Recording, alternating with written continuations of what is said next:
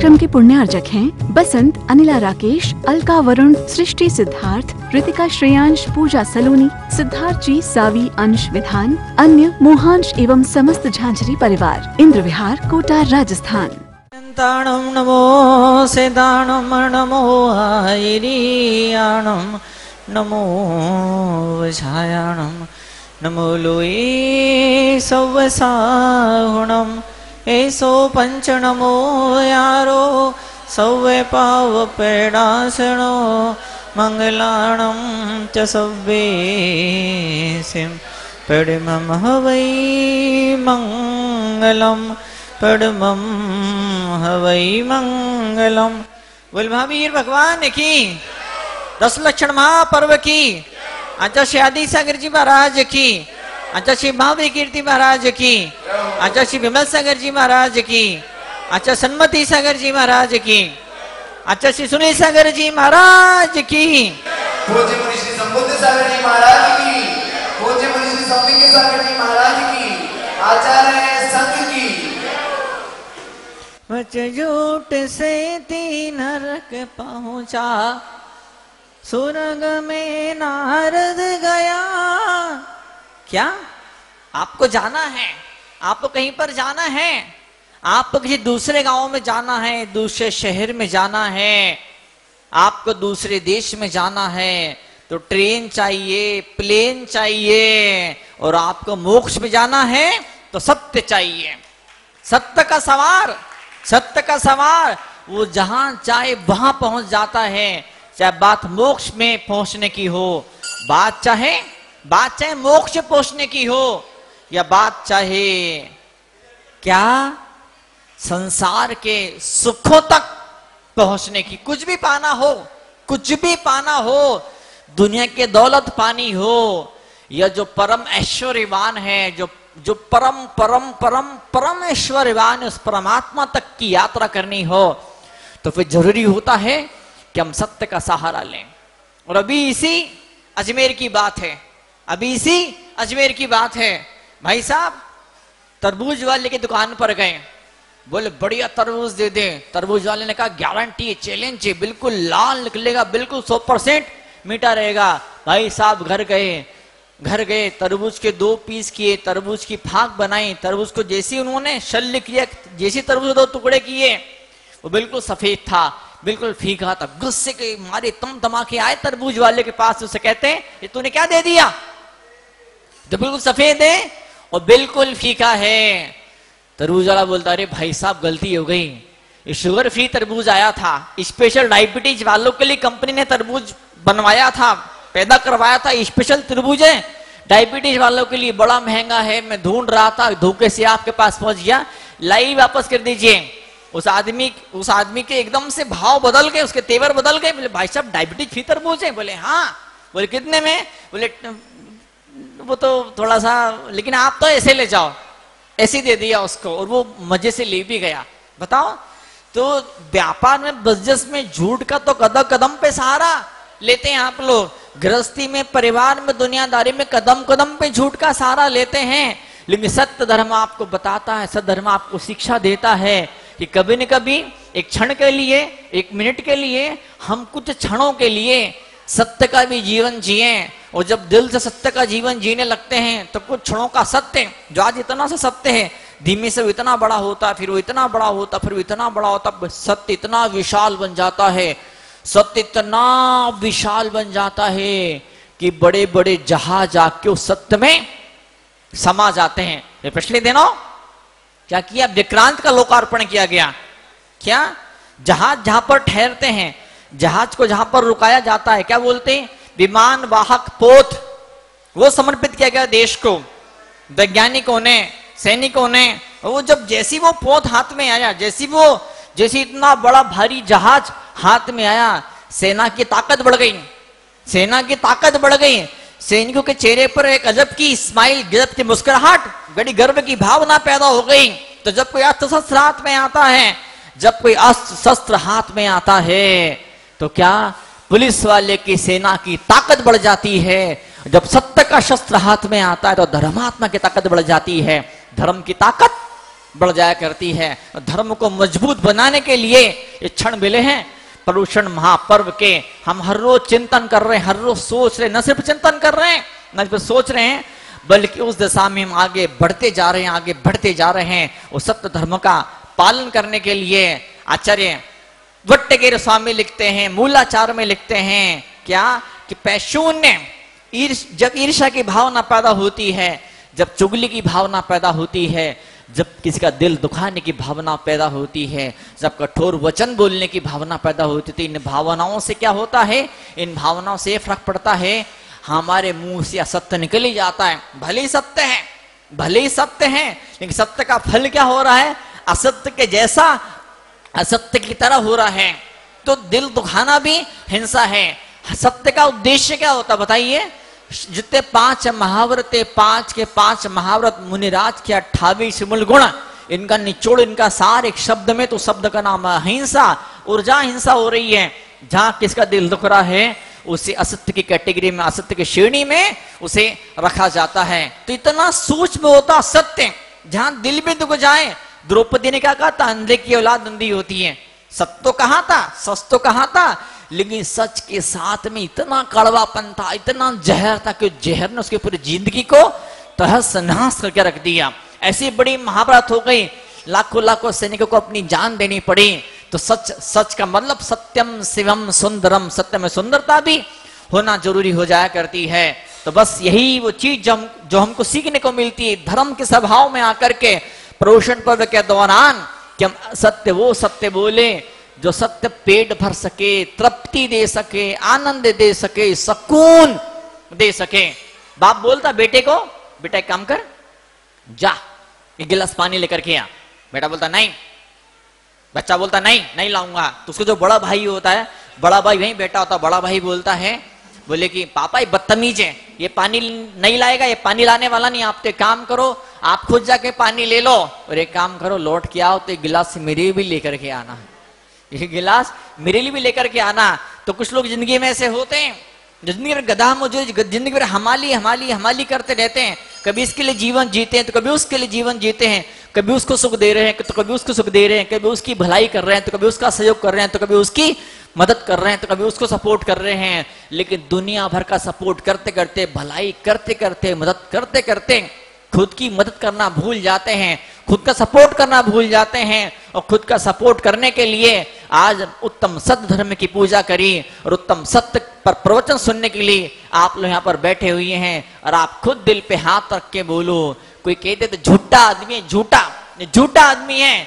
किसी ने इतना कह दिया, झूठा आदमी है? तो बताइए, उस इंसान की क्या इमेज रही, क्या इज़्ज़त रही? ये जो ये होते क्या बोलते हैं उसको मूछ? बोलते ना मूछ? ये मूछ ऐसी होनी चाहिए। ये मूछ झुकनी नहीं चाहिए। तो मूछ झुकती कैसे यहाँ मूछ तो यहाँ पर होती है, लेकिन झुकती कैसे जो भीतर जीव होती ना, जीव, ये जीव इस, ये जीव ये जीव इस मूछ को नीचे झुका दिया करती है। शब्दों का सम्मान सारा खत्म हो जाया करते हैं। आज हम से यहाँ पे आकर बैठते तो कितना सुंदर दृश्य। बताओ अब, ये पूजा की थालियाँ रखी हुई है। निर्वाण लाडू समर्पित हो चुके हैं। निर्वाण लाडू रख रखे हुए हैं। चावल का ढेर लगा हुआ, बताइए यार। अब मुझे दो चार दिन पहले किसी इंसान ने बताया, बोले कि वो एक आदमी बाज़ार का भोजन नहीं करता था, रात में भोजन नहीं करता था, और वो उसको कैंसर हो गया। कैसे कैंसर हो गया? उसे सिर्फ़ एक आदत थी चाय पीने की। वो सिर्फ़ चाय पीता था वो चाय कैसे पीता था? प्लास्टिक की थैली में चाय आती थी। तो उस थैली से, प्लास्टिक की थैली की चाय से उसे कैंसर हो गया। बताओ उस प्लास्टिक की थैली ने कैंसर कैंसर दे दिया। मैं तुरंत पेन उठाया, मन में चिंतन पैदा हुआ। उस व्यक्ति की विभीषिका पर, उस व्यक्ति, उस परिवार के दर्द पर मुझे चिंतन मन के अंदर पैदा हुआ कि वो थैली वो थैली अगर कैंसर दे सकती है, वो सिंपल सी थैली अगर कैंसर दे सकती है तो पूजा की थाली कैंसर क्यों नहीं मिटा सकती? मन का कैंसर क्यों नहीं मिटा सकती? आत्मा कैंसर क्यों नहीं मिटा सकती है? तो मन के आत्मा के कैंसर को मिटाने के लिए ये पूजा की थाली हुआ करती है, ये धर्म के अनुष्ठान हुआ करते हैं। प्रभुष्ण पर्व की साधना आराधना हुआ करती है। आज हम सब यहाँ पर बैठे हुए हैं। हम सोचें हम सोचें, हम ये सोचना शुरू करें, हमें चिंतन करना शुरू करें कि भली भारत को विश्व की टॉप टेन इकोनॉमी में शामिल कर लिया गया है। पर क्या हमको परमात्मा की लिस्ट में, परमात्मा के अकाउंट में सच बोलने वालों की टॉप टेन की लिस्ट में सम्मिलित किया है कि नहीं किया है? टॉप टेन ही top twenty top fifty top hundred कभी तो ऐसा जीवन में होना चाहिए।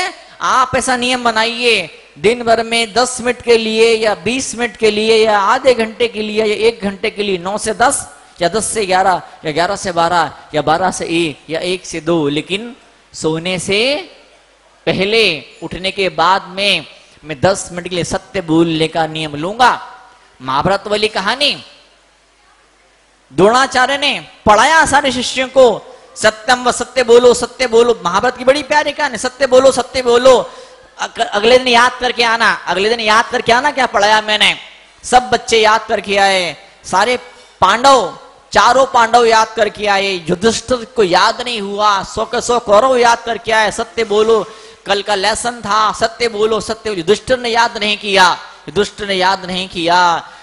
टीचर ने पूछा, द्रोणाचार्य ने, गुरु ने पूछा, क्या बात है, याद क्यों नहीं कर पाए? क्यों या इतनी छोटी सी बात याद नहीं हुई? बोले, नहीं, मैं याद नहीं कर रहा हूँ, मैं जीवन में उतारने का प्रयास कर रहा हूँ। दुष्ट ने ऐसा सच बोला, ऐसा सच बोला, ऐसा सच बोला, ऐसा सच बोला, कैसा सच बोला? कि उनका रथ महाभारत के युद्ध में धरती से चार अंगुल ऊँचा चलता था। एक दिन एक झूठ मुँह से निकल गया। एक दिन एक झूठ मुँह से निकल गया। क्या मुँह से झूठ निकल गया? राजनीति कर रहे थे युद्ध लड़ रहे थे, युद्ध में जीतना था। एक झूठ मुँह से निकल गया। क्या झूठ मुँह से निकल गया? और अस्वस्थामा मर गया। अस्वस्थामा मर गया। धीमे से बोल दिया। क्यों बोला? अस्वस्थामा के पिता द्रोणाचार्य उनको हराने के लिए, उनको डिप्रेशन में लाने के लिए बोल दिया, झूठ बोल दिया अस्वस्थामा मर गया। द्रोणाचार्य ने सोचा कृपाचार्य ने सोचा, ये सच बोलता है, झूठ नहीं बोलता, जैसा सुना उन्होंने, बाप रे बेटा मर गया, हथियार डाल दिए, उनको तीर से मार दिया गया। धीमे से ये भी, धीमे से भी बोला था सस्ता मर गया, धीमे से बोला, क्या मालूम हाथी मरा कि इंसान मरा। सिर्फ़ एक बार जीवन में झूठ बोला, सूरत धरती पे धस गया, धरती पर वापस नीचे उतर आया। सत्य की वही महिमा होती, सत्य की महिमा वो होती, सत्य आपको हल्का बना देता, निर्भर आपको जीवन के अंदर बना दिया करता है। भले असत्य देखने में सुंदर लगता है, भले झूठ का सहारा लेने से कुछ जीवन में सुंदरता पैदा होती, कुछ पैसा मिलता है, कुछ सम्मान की प्राप्ति होती है, उसके बावजूद भी बोलते ना, झूठ के पैर नहीं होते हैं। पिछले दिनों हम बिहार हो रहा था तो बताया आना सागर, बड़ा तालाब है, आना सागर। दुनिया देखने आती, इतना बड़ा तालाब है। बोले उसमें जलकुंभी जलकुंभी पैदा हुई उसके ऊपर। एक वनस्पति होती जो हरी हरी होती है, जलकुंभी पैदा हो गई है। देखने में बहुत सुंदर लगती है। जलकुंभी देखने में बहुत सुंदर होती है। लेकिन इस बावजूद भी पानी को सत्यानाश कर देती है, बदबू पैदा कर देती है, ऑक्सीजन खत्म कर देती है। पानी में जो जानवर रहते हैं, जो मछली वगैरह होती है वो मर जाते हैं जलकुंभी के पैदा होने से देखने में तो सुंदर है। रिज़ल्ट बड़े खतरनाक है। बड़ी खतरनाक पैदा होती है। तो ऐसी जो सत्य का जो सहारा लेते हैं, वो भीतर भी सुंदर हो जाते हैं बाहर से भी सुंदर बनना शुरू हो जाते हैं। तो हमको जनवाणी उठा के देखना, क्रोध से, लोभ से, डर से, हँसी मज़ाक में असत्य कई बार मुँह से निकल जाया करता है। असत्य बोलते कुछ बिगड़ता नहीं है। असत्य बोलने कुछ नहीं बिगड़ता है। कुछ भी घाटा नहीं होता है।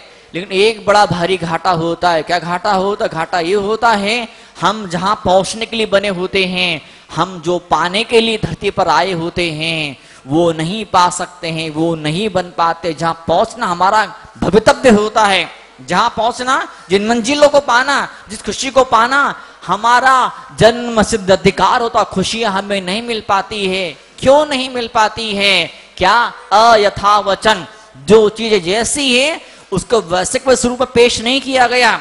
आपको मालूम पड़े, मैंने तो कुछ और बोला था, लेकिन मेरी बातों को किसी और रूप में तोड़ मरोड़ के किसी और के सामने पेश किया गया। राजनीति में क्या होता बताइए आप? यही तो छल कपट यही तो षड्यंत्र होते हैं।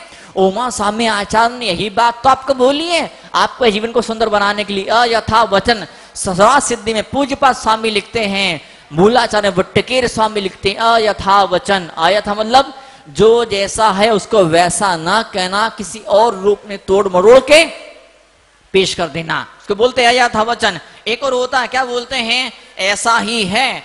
दर्द क्षेत्र काल भाव की अपेक्षा नहीं करना।